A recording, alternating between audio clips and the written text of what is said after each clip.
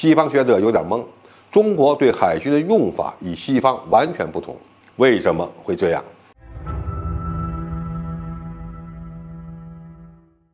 观众朋友，大家好，我是付建少。随着中国海军力量的不断强大，美国一直在设想中美海军未来在大洋决战的场景，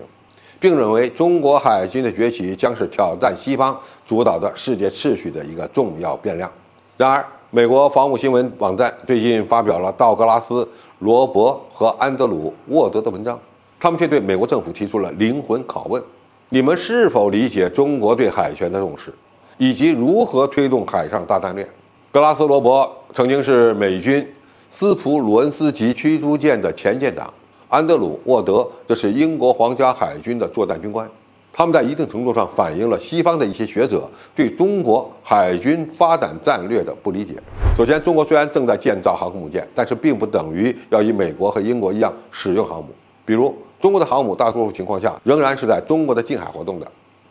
超过第一岛链进入西太平洋的次数都非常少。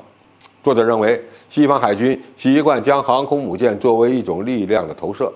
而中国呢，则更像是用航母来保护其海上力量。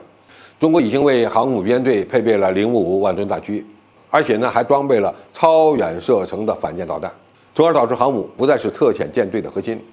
也就是说，西方的航母主要是用于夺取制空权和制海权的。而中国的航母似乎就是为了保护零五五，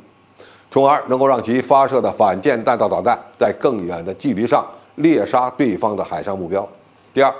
中国认为航母是超级大国地位的标志，而不是为了争夺海上霸权。中国不寻求海上霸权，不追求建立更多的海外军事基地。西方将海军看成是推动盟友关系的基石，中国呢则更习惯于把海军当成是推动军事交流的工具。蓝水海军的主要特征之一就是建立大量海外军事基地，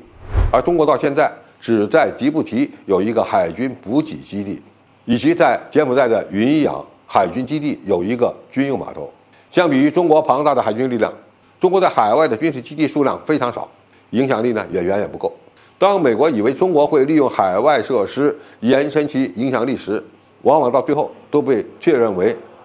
是好战的美国人的假设。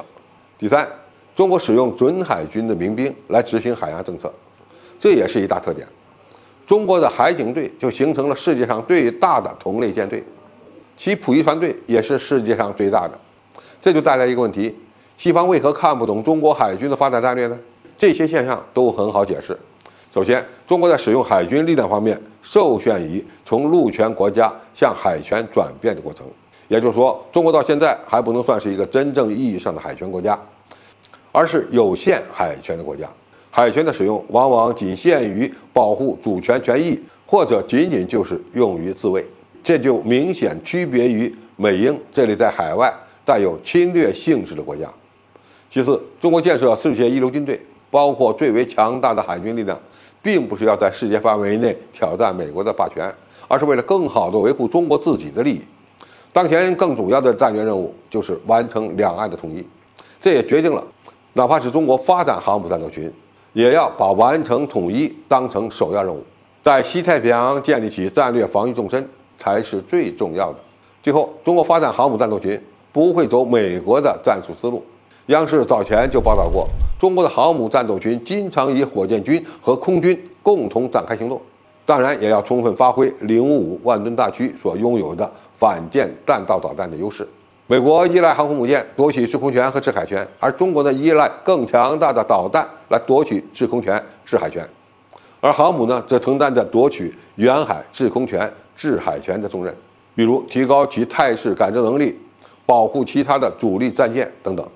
而火箭军和空军则共同帮助航母战斗群提升远程打击能力。这也开创了一条具有中国特色的航母战术发展之路。总体而言，人民海军一定会建设成世界上最强大的海上作战力量，而且未来也会走向深蓝。但是，当前我们更重要的任务还是为完成统一大业做准备，